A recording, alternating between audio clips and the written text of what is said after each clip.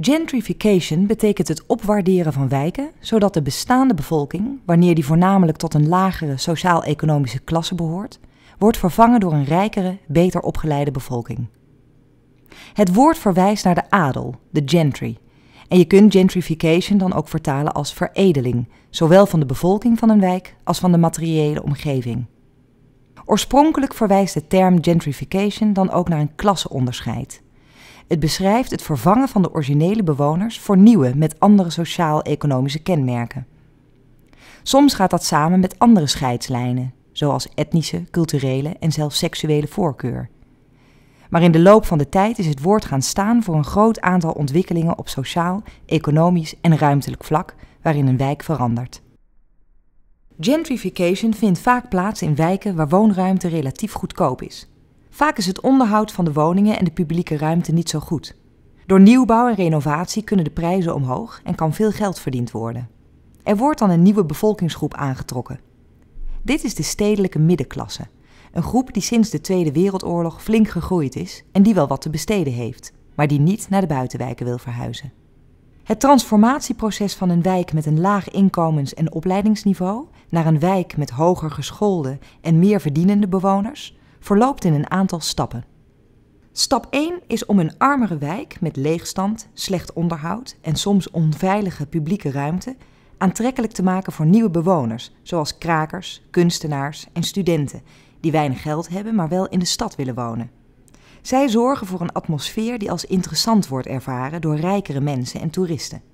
Ze scheppen de voorwaarden voor een omgeving die aantrekkelijk is voor duurdere winkels om zich te vestigen en die ook toeristen aantrekt. Langzaamaan vestigen zich bijvoorbeeld trendy restaurants in architectonisch opvallende gebouwen. De tweede stap is dan de toestroom van mensen met een hogere sociaal-economische positie, jonge professionals en twee verdieners zonder kinderen. Dit zijn mensen die wel wat te besteden hebben en een beetje rommel en ongeregelde activiteit op straat juist stimulerend vinden. Het huizenaanbod wordt langzaamaan aangepast aan de eisen van deze groep. Dat betekent dat woningen met een lage huur na renovatie worden verkocht of verhuurd voor een hoger bedrag. Ook wordt er nieuw gebouwd met opvallende ontwerpen die weer een bepaalde bevolkingsgroep aantrekken. Ten slotte komt een groep die een veilige omgeving wenst, maar wel in de stad wil wonen: de gezinnen. Ook deze groep vraagt om specifieke woonruimte. Mooie gebouwen, groot genoeg voor een gezin, maar ook met winkels en voorzieningen in de buurt. Gentrification is dus een proces met een economische en een culturele kant dat al lang niet meer alleen gaat over bevolkingsgroepen. Het gaat ook over winkelaanbod, architectuur en het leven op straat. Vaak duurt het gentrification-proces jaren.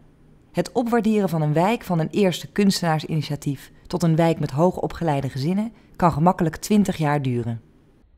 In Amsterdam bevinden diverse wijken zich in het proces van gentrification. In wijken als de Pijp en de Jordaan is het proces in een vergaand stadium en rijst langzaam de vraag hoe het verder zal gaan. Andere wijken als de Spaarndammer Buurt en de Baarsjes zijn onderweg. Door tussenkomst van de economische crisis en het inzakken van de huizenmarkt wordt het proces vertraagd. De beelden van deze clip zijn gemaakt in de Indische buurt, waar het proces ook in volle gang is. Een wijk die in de lift zit, is erg aantrekkelijk voor een stad.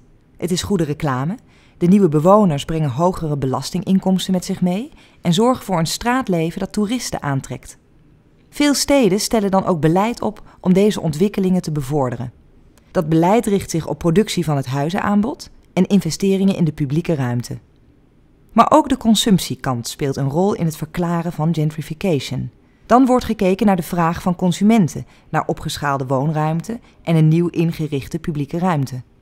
In beleidstaal worden soms synoniemen gebruikt voor het gentrification-proces. Het heet dan herstructurering of revitalisering en de gentrifiers worden aangeduid als creatieve klassen of nieuwe stedelingen. In recente jaren zeggen kritische sociologen dat gentrification te veel wordt gepresenteerd als een succesverhaal. Stadsbesturen hebben belang bij de hoge inkomens vanwege de belastinginkomsten en het soort straatleven dat die burgers meebrengen.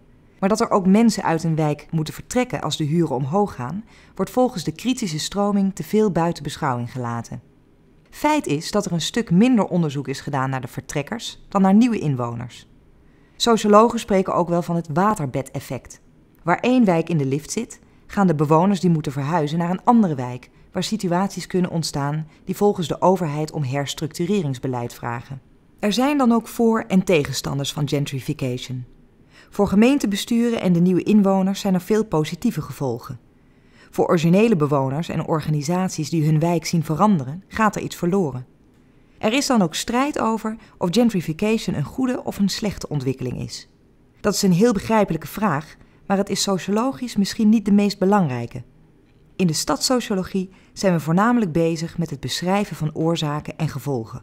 Misschien moeten we dus vooral vragen wie de winnaars zijn in een proces van gentrification en wie de verliezers.